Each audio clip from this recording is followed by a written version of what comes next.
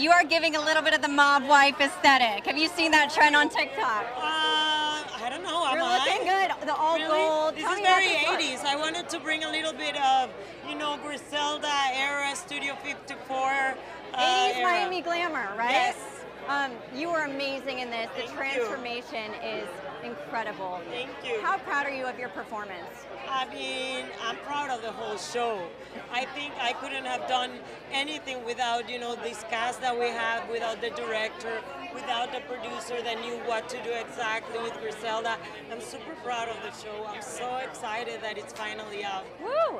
Um, I live in New York. I saw you're going to be spending some more time in New York. Yes. What does this new chapter look like for you? What's on your New York I bucket was list? kidding, you know. Come on, I live in New It's York. like I live in LA and I have to work in LA. I mean, I love coming to Miami, to New York, everywhere. And you know, now that I'm single, I get to be able to be a little bit more free.